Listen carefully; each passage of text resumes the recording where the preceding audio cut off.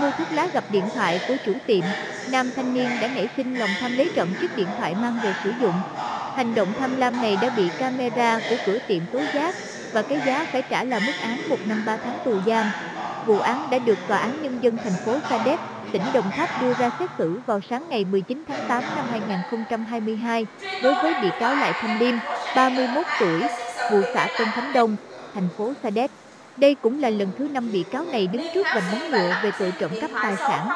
Theo cáo trạng, vào khoảng 19 giờ ngày 26 tháng 5 năm 2022, Lại Thanh Liêm điều khiển xe máy đến một tiệm tạp hóa ở ấp Khánh Nhơn, xã Tân Khánh Đông, thành phố Sa Đéc hỏi mua một gói thuốc lá. Trong lúc ra về, Liêm nhìn thấy chiếc điện thoại của chủ tiệm để trên thùng bia nên Liêm đã lấy trộm, giấu vào áo khoác sau đó lên xe máy rời đi. Bị hại khi phát hiện bị mất tài sản đã mở camera ở cửa tiệm ra xem thì xác định thủ phạm là Liêm nên đã đến trình báo cơ quan công an. Cơ quan chức năng đã tiến hành thu hồi tài sản và trả lại cho hại. Chiếc điện thoại cùng sim điện thoại bị cáo Liêm lấy trộm được định giá 2 triệu 620 ngàn đồng. Tại phiên tòa, bị cáo Liêm đã thừa nhận tất cả hành vi phạm tội của mình. Được biết, bị cáo Liêm đã 4 lần vào tù cùng về tội trộm cắp tài sản, bị xử phạt tổng cộng 6 năm 6 tháng tù nhưng vẫn không ăn năn hối cải, vẫn ngựa quen đường cũ.